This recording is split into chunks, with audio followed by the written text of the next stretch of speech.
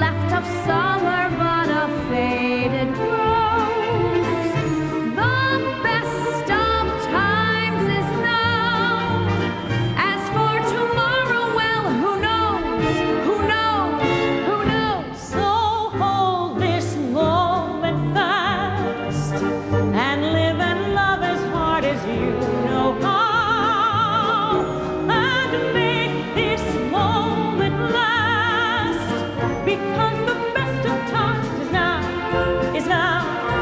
Now.